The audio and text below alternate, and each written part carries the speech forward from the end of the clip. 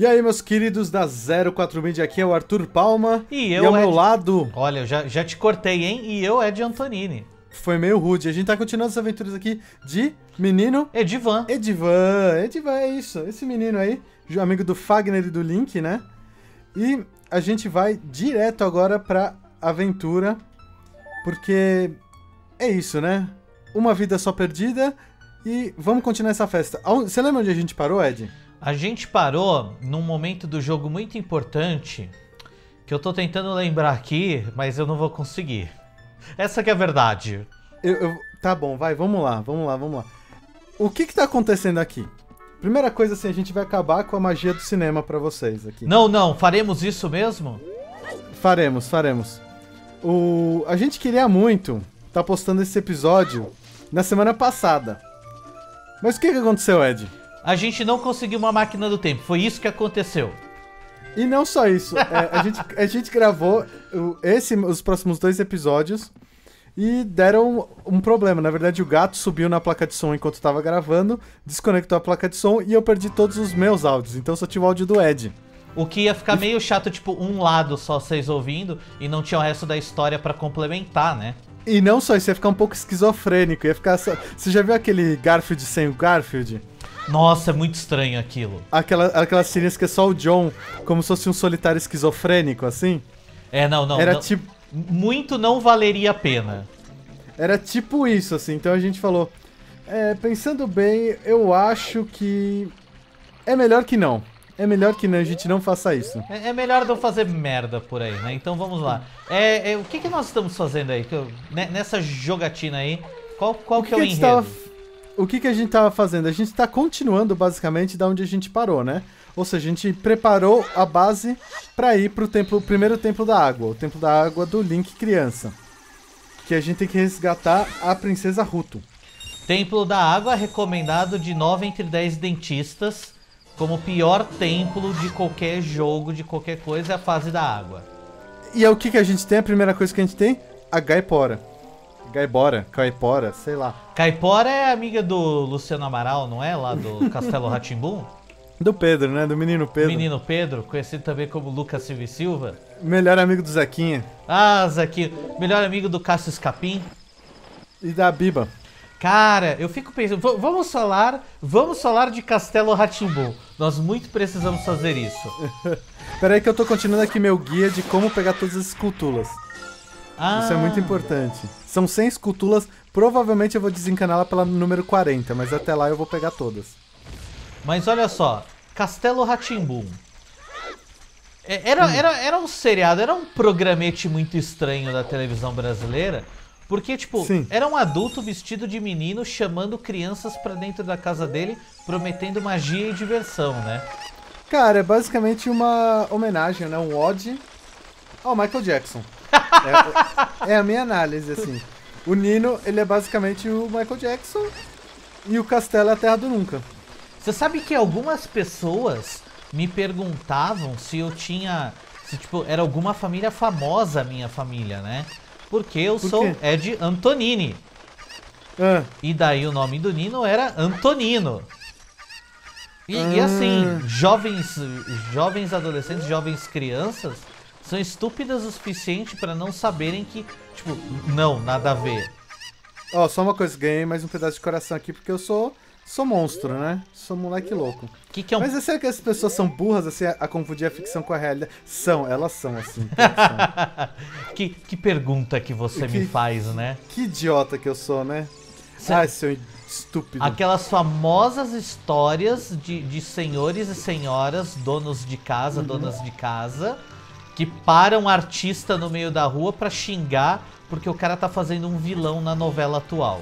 Só uma coisa, ali no tronco ali atrás, onde apareceu um box de diálogo, ele fala que tem uns sapos me observando ali. Uns, uns uns sapos meio voyeurs, assim. Eles estão vendo as coisas E- eróticas e tal. E, e eles aparecem mesmo?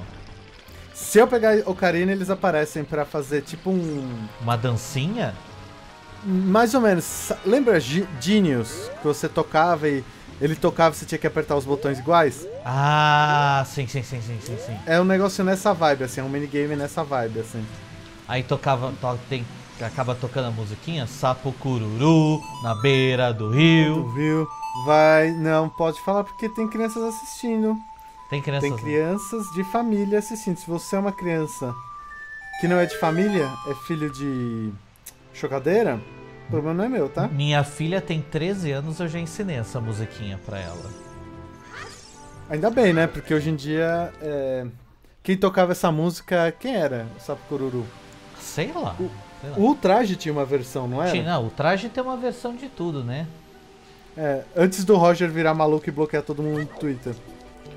Não, não, peraí, peraí. O Roger tá meio Guilherme Briggs, assim? Total, ele bloqueia todo mundo. Você virar e falar qualquer coisa assim que ele tá sendo. Que ele tá, né? Boa parte das vezes, nas ideias políticas dele. Ele é bem extremista. Se alguém falar isso, ele fica bravinho e. e. bloqueia. Ele é extrema direita lá, lá no fundo mesmo, né? Sim, e é engraçado porque ele não era. Eu conheci ele num evento uma vez. Que, que- qual era? Era, era um evento de, de, de publicidade, marketing que rola todo ano aqui em São Paulo. E eu conheci ele. E o cara era de boa, velho. A gente conversou assim. É... Tá certo que a gente conversou sobre música, né? Que aí a gente tem gostos bem parecidos, assim. Mas ele foi um cara super aberto, foi lá pra fazer um outro trampo, mas se dispôs a fazer coisa com a, é, com a gente que não tinha nada a ver com o cara. Sei lá, velho. O maluco. Ele foi piorando, vamos dizer assim. Ele foi ficando mais doido. Eu, eu O que, vou... não tem, o que não tem problema não você ter uma visão direita, esquerda, mas assim, você tem que respeitar o outro, assim, não importa a sua visão. Pa- Palma, aguenta só um pouquinho, eu tô, eu tô muito apertado aqui. Eu vou deixar você narrando essa parte aí que, que é importante aqui. Agora o Ed foi ao toalete, entendeu? No toalete, provavelmente Oi. o Ed vai levantar a tampa Oi. do vaso. Com a tampa do vaso levantada. Na verdade, agora que eu tô ouvindo, ele tá atendendo o telefone. O vagabundo tá falando no telefone. É bom que ele compartilhe a conversa É com a gente. Mas o que eu tava tentando fazer aqui, só pra explicar pra vocês durante o jogo, eu tava tentando acender todos os, os negocinhos de luz aqui que tem. É o-. Eu esqueci o nome disso. Qual é o nome dessas pira aí?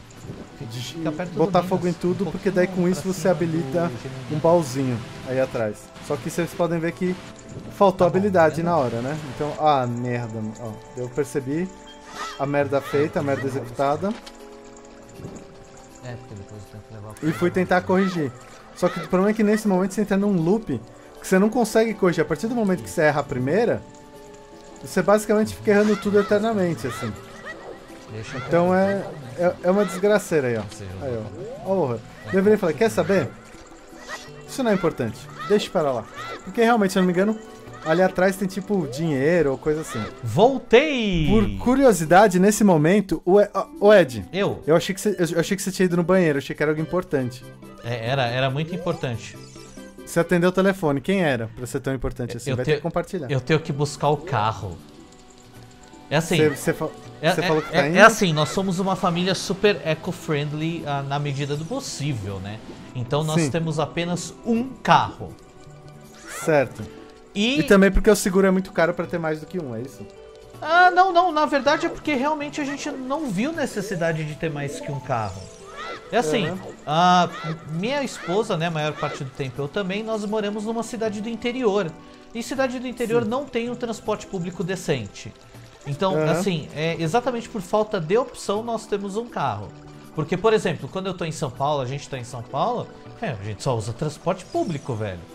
Certo. meu, entre ficar meia hora no, no trânsito, é, dentro do carro, sofrendo ali, e ficar 35 minutos é, apertado no do transporte público, a gente prefere o transporte público. Porque pelo menos a gente não Entendi. tem que ficar prestando atenção no trânsito. Entendi. E só pra te dizer, é, Ed, nessa hora eu tava tentando coletar todas as mo- moedas do fundo do lago, entendeu? Enquanto você tava Ah. na farra, contando sobre carros, que não é um Tesla, não é um carro legal. Não, não. Eu morro de vontade de ter um carro elétrico. assim, Cara, eu sonho ter um. Eu, sonho- eu queria ter um Tesla, ou pelo menos um Nissan Leaf. Entendeu? Sim, sim, sim. Não, até aquele. O Prius, né? Também é, é Até uma o opção. Prius. Até o Prius passava. É, é que o Mas- Prius virou aquele carro marca registrada de liberal, né? É, então. Ele virou tipo, você mora em São Francisco, você tem um Prius e você cheira seu próprio peido, né? Ah, ah, eu peguei a referência, eu peguei a referência. Se você pegou a referência, escreve Deixa aí no nos comentários. Ou seja, você tá falando que a gente vai ter que parar, é isso, seu verme? É, daqui a pouco, assim que terminar essa, essa primeira partezinha aí. Ah, tá certo. Daqui a pouco estão vindo. Tá acabando já, não tá? Tá sim. Então, a gente na verdade tá se equipando com o necessário pra. ah, Porque ó, eu tive que ir lá mergulhar eu tenho que falar com o Zé Peixão agora. Porque ele me dá escama. Eu, eu viro escamoso. Pedro, o escamoso. Lembra dessa novela maravilhosa? Passou depois de Betty a Feia? Não. Não, sério mesmo, nunca ouvi falar. Passava na Rede TV, uma época a Rede TV comprou umas novelas mexicanas de terceira linha e tinha Betty a Feia e Pedro Escamoso. Cara, é legal que quando você fala novela mexicana de terceira linha, é, é tipo o, o ápice do cúbice do ruim, né? Com certeza. O pináculo, Ali, ó, tá- por assim dizer. Tá vendo aquele jarrinho ali, ó? Ah. Eu, eu vou pegar, eu vou pegar aquele jarrinho, é o meu objetivo. Eu vou lá. Ah, moleque doido, peguei o jarro. O que, que tem no jarro? É só um É uma jarro. garrafa com uma carta dentro. É. É legal que ele fala que é uma, ga- é uma garrafa vazia, né? É, é legal porque ele fala, é uma garrafa vazia, depois, ah, parece que tem algo dentro dela. É porque, tipo, eles tinham texto padrão, e se eles escrevessem mais uma linha de texto, ia ocupar mais espaço. E espaço E- era um problema grave no N64. E num cartucho, cada bit é, é bem-vindo, né? É, então, porque a primeira coisa que a gente tem que deixar claro, assim, as pessoas virem falar, ah, mas é, no N64 cabia 256, 512 mega. Verdade, mega. Bit. Megabit. Divide por 8. Então, 256 vira o quê? 32? Ah, eu não tô com a calculadora aqui perto, mas deve ser alguma coisa assim. Eu, eu, eu, eu, eu tenho quase certeza que 256 Vira 32, vira 32 megabytes. megabytes. Então, tipo, Cara, 32 Temos um. Eu tenho fotos maiores que alguns jogos da Nintendo. do, do N64, assim. Então é bem complexo isso. Ô, velho, uma foto em RAW, ela é muito mais que 32 mega, não é? Muito mais, cara. Muito, muito, muito. Se, se você tiver uma dessas. É, de- tiver uma câmera com 25, 35 megapixels, fácil. Uma. uma com frame grande, assim, com. Uma full frame. É, sensor grande. Você pega uma câmera de celular que, mesmo que bata em RAW, vai ficar menor porque ela tem menos dado, né? O sensor é menor e tal, ela acaba aglutinando informação. Mas câmera digital, assim, com sensor grande, velho. Aliás, crianças, por melhor que seja a câmera do seu celular, ela nunca vai ser uma, uma câmera full frame. Ah, mas eu tenho um Lumia 950 que tira umas fotos malucas. Tudo bem, velho, você tem uma, Sim. um celular com uma câmera muito boa, mas ainda assim não é uma câmera. O principal disso é que você tem a diferença da. É uma coisa de física, assim, o tamanho do sensor, a lente, a distância entre o sensor e a lente, tudo, tudo isso. es- Todo mundo que teve aula de ótica deve lembrar. E tudo isso influencia em como a imagem é interpretada pelo sensor, né? E pela câmera, e o tamanho do sensor, tudo isso influencia. E claro, não estamos desfazendo das câmeras de celulares que hoje até um iPhone tem uma câmera boa. Cara, e é um bagulho muito louco, assim, hoje em dia você tem. Pra 90% dos usos, uma câmera de celular ela supre todas as suas necessidades. Assim, mas é, para certas coisas, uma câmera. câmera é, eu, não, eu não vou falar reflex, porque. Ou vulgo DSLR, porque as mirrorless também são muito boas. Então. Qual, aqui, qual, qual que é a diferença? Conta pra gente. O quê? Da, da single lens, da, da mirrorless, esse tipo de coisa. A single lens reflex é a mesma coisa que, sei lá, a Nikon, a Fuji, a Fujifilm, a Por exemplo, essas câmeras Mavica. boas que a gente faz a- as, as gravações da 04 quando a gente vai em algum lugar conversar com alguém, A GH4 é uma mirrorless. é uma mirrorless. Mas Sim. uma mirrorless, ela é melhor que uma single lens? Depende. Não existe muito melhor. A mirrorless é meio que uma tendência, sabe? É que nem você. É, por exemplo, eu adoro eu adoro vinil, mas assim, você sabe que vinil é nicho. Sim. Mas vamos, vamos lá, a mirrorless, pelo fato de não ter um espelho, hence the name, ela, ela captura direto a imagem? Sim, teoricamente ela, ela coloca menos obstáculos para ruído. Ela não tem o, o espelho lá, que ela vai direto pro sensor. Mas Mas ela tem uma limitação normalmente de tamanho. Os sensores são normalmente Micro Four Thirds ou aquele as, alguma coisa da Sony, que eu não lembro o nome. Então, é, com, isso, com sensor menor, você chega a resoluções, men resoluções menores. Para vídeo, isso não é problema. Porque você vai ver um vídeo de 4K, o tamanho dele ainda seria equivalente a uma foto de o quê? 10 megapixels? Nem isso. E esses sensores é, Micro Four Thirds, esses sensores menores que full frame, só chegam até 20 e poucos megapixels. Eu acho que é, o máximo é 28. 28 ou 30. E, e, qual que é, e qual que é a diferença de uma full frame porque uma meio frame? Como é que é o negócio? É um pouco menor, seria tipo 70%. Mas o melhor mesmo, o negócio é full frame, é isso? Não, ah. não. Pra vídeo não necessariamente. Porque full frame ele cria o profundidade de campo muito exagerada. Entendeu? Estamos entendendo. Agora... Veja, eu tô tentando fazer um telecurso aqui pra galera que quer, que tá interessada em ter uma câmera e tudo mais, porque hoje os preços estão relativamente acessíveis. Ah, sim, o, Hoje você ter uma câmera profissional, uma semi-profissional, é uma coisa uhum. execuível. Então é bom sim. a gente, tipo, ter uma ideia. Mas vamos fazer sim. o seguinte, isso a gente deixa para outro episódio? A gente entrou na barriguela do Jabu Jabu. E agora a gente vai salvar a Princesa Ruto, entendeu? A gente ficou fazendo tudo isso só pra entrar no Templo da Água devidamente dito. E aquela Enfim. história, curte, compartilha e... e até mais. Até a próxima e cuidado aí com as entranhas, velho. Cuidado.